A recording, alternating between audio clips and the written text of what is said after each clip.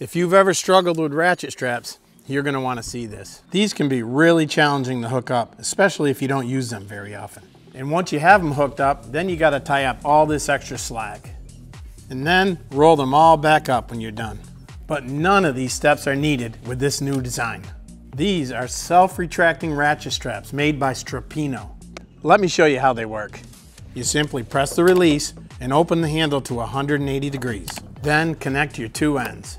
Press the release again and then ratchet your straps tight. Lock them closed and you're done. No threading or slack to tie up. To disconnect them, you press the release again and then open the handle to 180 degrees. Disconnect your two ends and they roll themselves back up. Lock the handle closed and it's ready for storage. How cool is that? Hey, if you're interested in these straps, I'll drop links down in the description and one in the pinned comment, and I'll see you on the next one.